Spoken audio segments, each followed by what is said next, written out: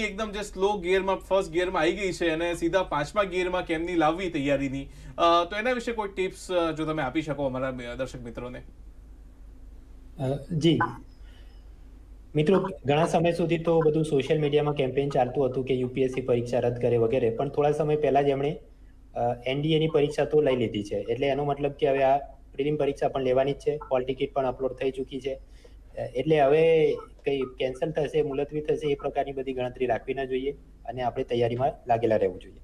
તો હું કહી રહ્યો હતો કે આજકાલ બધું સૌથી વધુ સુખી થવું હોય તો ફેસબુક વોટ્સએપ બધું એક બાજુ મૂકી દેવું જોઈએ કે રોજ બધી નવી અફવાઓ ચાલતી હોય અને તૈયારીમાં ધ્યાન આપવું જોઈએ. અને તૈયારી કરતી વખતે પ્રશ્ન એમ થાય કે હવે કયા વિષયોને પ્રાધાન્ય આપવું? તો જૂના પેપરો આપ સોલ્વ કરો છેલ્લા પાંચ વર્ષના પ્રિલિમના આપમેળે ખ્યાલ આવી જશે કે જે પ્રમુખ વિષયો હોય આપણા કે ભૂગોળ છે એન્વાયરમેન્ટ છે ઇકોનોમી છે પોલિટી હિસ્ટ્રી સાયન્સ અને થોડું કરંટ અફેર્સ તો એની તૈયારી કરવી જોઈએ. સાથોસાથ વિદ્યાર્થીઓમાં એક ગેરસમજ એ પણ રહે છે કે બિનજરૂરી એમ કે ડેલી ન્યૂઝ કરંટ અફેર્સ એ બહુ બધું પૂછાઈ જવાનું હોય એવા ભયમાં રહે છે. જ્યારે કે આપણે જૂના પેપરોનું એનાલિસિસ કરીએ તો લગભગ પચાસ સાહીઠ ટકા તો થિયરી જ પૂછાય છે જો પાઠ્યપુસ્તકો અને બધી સામાન્ય ચોપડીમાં હોય.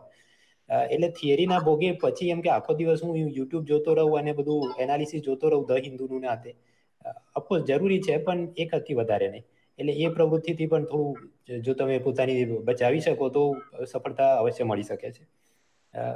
આ સિવાય પેપર ટુનું પણ ધ્યાન રાખવું જરૂરી છે. ખાસ કરીને અગાઉ એમ હતું લોકોને કે આપણે પેપર ટુમાં ખાલી પેલા કોમ્પ્રિહેન્શનના ફકરા સોલ્વ કરી દઈશું એટલે આપણા તેત્રીસ ટકાના લેખે જે પાસિંગ માર્ક સડસઠ જોઈએ બસોમાંથી આવી જશે.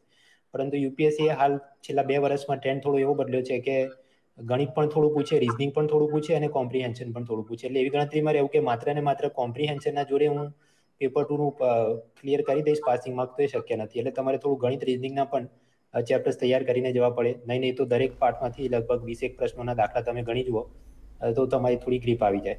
કેમ તો એક વસ્તુ કરવાની જરૂર છે. અને એ સિવાય તો થોડું પોઝિટિવ પોતે જ મોટિવેટ રહેવું જોઈએ અને આ બધું સોશિયલ મીડિયા વોટ્સએપ વગેરેથી દૂર હોતા આપમેળે કોન્સન્ટ્રેશન આવવાનું શરૂ થઈ જશે. જી. જી જી. તો સોશિયલ મીડિયા અને વોટ્સએપથી થી દૂર રહો એંગે તસ સાહેબ આપે કે ક્વિક એ એંગે કંઈક કરી હતી? કોઈક મોબાઈલ ખોવાઈ જાય એ સુખી માણસ છે? હા હા. જ્યારે લોકડાઉનના વખતે જાત જાતની અફવાઓ ચાલતી હતી ત્યારે મેં ટ્વીટ કરી હતી કે એમની હાલત શું હશે?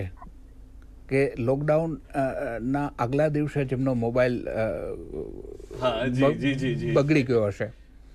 અને પછી મને એમ લાગ્યું કે એ માણસ નસીબવાળો છે કે જેથી જાત જાતની એમની જે અફવાઓ જે છે એ એના કાને નથી અથડાતી. અને એ જીપીએસસીની કે યુપીએસસીની જે આગામી તૈયારીઓ છે પરીક્ષાઓ છે એની તૈયારીમાં લાગી ગયો છે.